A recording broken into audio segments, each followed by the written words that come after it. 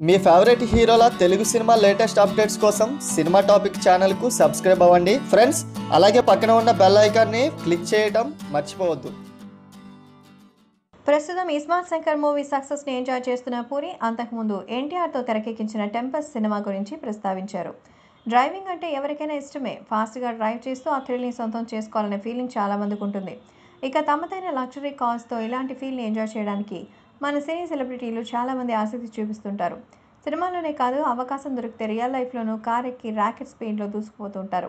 Tollywood crazy hero young tiger NTR కూడా దాదాపు ఇదే రేంజ్ స్పీడ్తో డ్రైవింగ్ చేస్తాడనే విషయాన్ని star director Puri Jagannath reveal చేశారు. తారక్ స్పీడ్ అంటే తనకి ఎంత భయమో చెప్పాడు. ప్రస్తుతం ఇస్మార్ట్ శంకర్ మూవీ సక్సెస్ని ఎంజాయ్ చేస్తున్న పూరి ఓ ఇంటర్వ్యూలో ఎన్టీఆర్తో తెరకెక్కించిన టెంపర్ సినిమా గురించి ప్రస్తావించారు.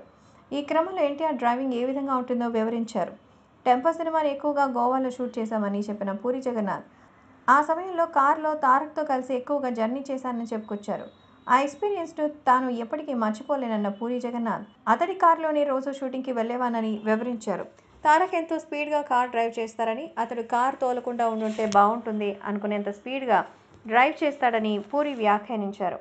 టెంపర్ తర్వాత కొన్నేళ్ళ పాటు సక్సెస్ సాధించలేకపోయిన పూరి జగన్నాథ్ మళ్ళీ ఇస్మార్ట్ శంకర్ సినిమాతో హిట్ అందుకున్నాడు. మరిన్ని అప్డేట్స్కే మా ఛానల్ సబ్స్క్రైబ్ చేసుకోండి. సబ్స్క్రైబ్ చేసుకోవడానికి వీడియో కింద ఉన్న రెడ్ కలర్ సబ్స్క్రిప్షన్ బాక్స్ పై క్లిక్ చేస్తే చాలు. Thanks for watching.